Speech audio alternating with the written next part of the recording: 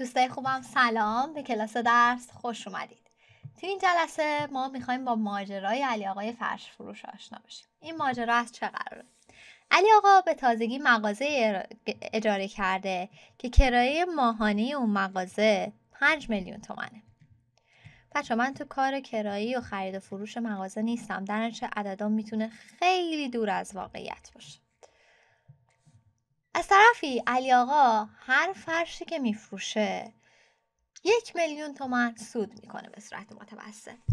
در واقع سود حاصل از فروش هر فرش یک میلیون تومن.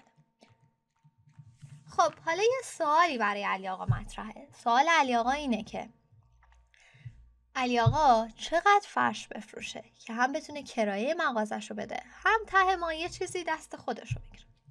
اون چیزی که در واقع دست علی آقا رو می‌گیره درآمد علی آقاست و علی آقا براش سواله که در واقع درآمدش با توجه به کرایه‌ای که میده و سودی که از فروش هر فرش به دست میاره چقدر؟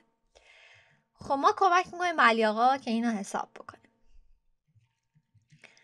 میگیم که علی آقا درآمد شما برابر با سود کلی حاصل از فروش فرشاتون. منهای کرایه خونتون که در واقع هزینه است کرایه مغازتون.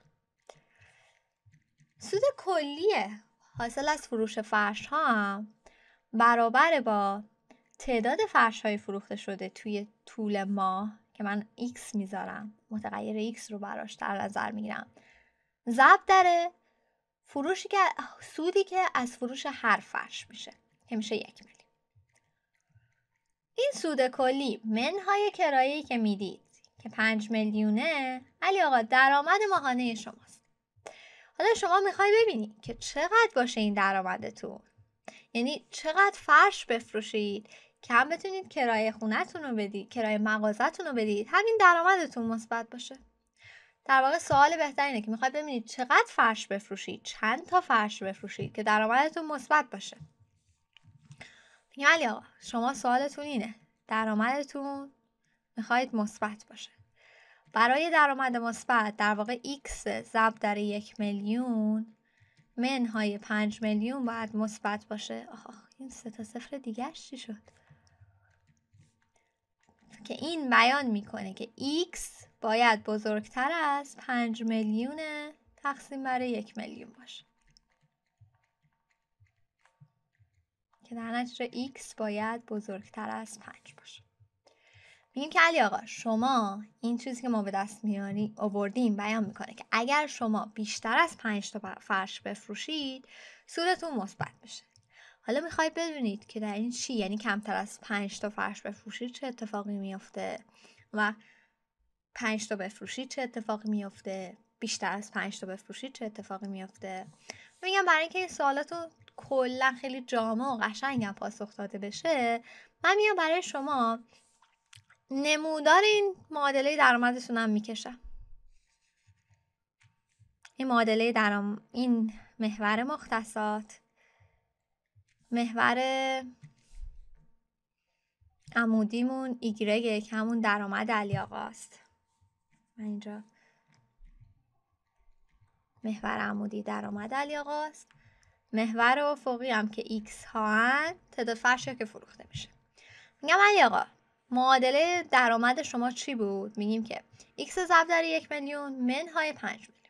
پس اگر شما هیچی فرش نفروشید هیچی فرش نفروشید هیچ سودی از فروش فرش را به دست نیاوردید تازه پنج میلیون هم باید کرایه مغازه بدید یعنی در واقع درآمد شما منفی 5 میلیونه. هیچی دستتون رو نگرفته تازه باید 5 میلیون از جیبتون خارج بشه. بچه هر واحد محور عمودی یک میلیونه. پس منفی پنجمون در واقع همون منفی پنج میلیونه. اینجا. ولی اینجا گفتیم حالا اگر پنج تا فرش بفروشید چه اتفاقی میافته؟ وقتی که پنج تا فرش بفروشید. پنج میلیون.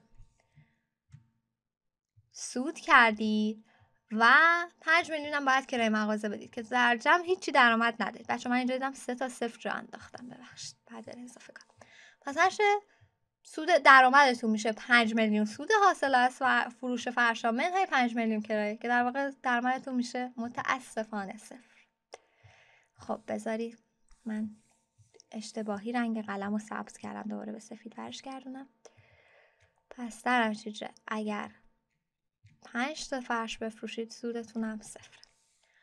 حالا من میام براتون این خطی که این معادله رو بیان می‌کنه رو می‌کشم.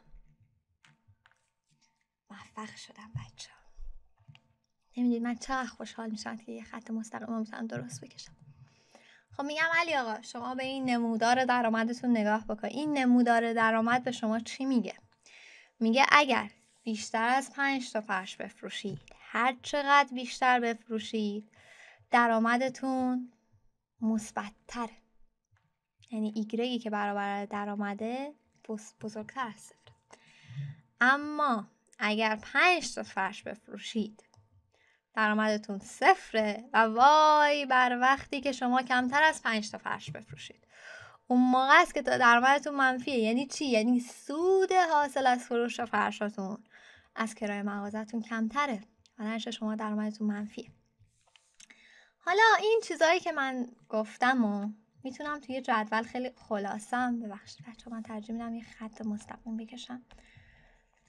توی جدول به علی آقا گزارش بدم. میگم علی آقا. این فرش هایی که فروختید که اگر x باشه تعداد فرش ها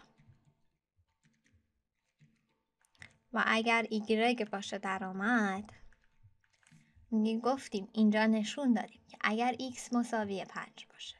اینجا هم براتون حساب کردیم. و این توی نمودارم مشخصه. y صفره. درآمدتون صفره. ببینید اینجا y صفره. اگر x بزرگتر از 5 باشد. x بزرگتر از 5 باشه. y مثبته. درآمد شما مثبته. و اگر x کوچکتر از 5 باشه اون موقع است که واقعا قرمزه و که شما منفیه درآمدتون منفیه. این جدول گزارش ما به علی آقاست. میگیم علی آقا ما نشون دادیم که تو این جدول داریم بهتون نشون میدیم.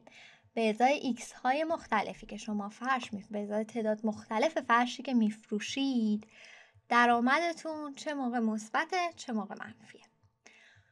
کاری که ما کردیم اینه که ما معادله درآمد علی آقا رو تعیین علامت کردیم. تعیین علامت یعنی چی؟ یعنی نشون دادیم به ازای x های مختلف توی این جدول به ازای x های مختلف y چه علامتی داره؟ به این کار میگن تعیین علامت.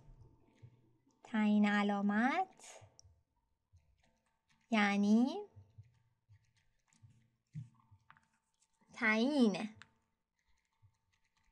علامت ای درگ به ازای ایکس های مختلف. دقیقا کاری که ما توی این جدول برای علی آقا کردیم. ما این جدول هم با توجه به معادله درآمد علی آقا معادله درآمد علی آقا که اینه و همچنین کشیدن نمودارش به دست آوردیم. خب بچه ها توی این جلسه ما یه آشنایی خیلی خیلی ابتدایی با تعیین علامت پیدا کردیم. با مثال علی آقا توی جلسه بعد ما با ریاضیات تعیین علامت بیشتر آشنا بشیم امیدوارم از این جلسه لذت برده باشید و توی جلسه بعد همراه من باشید. فعلا خداحافظ.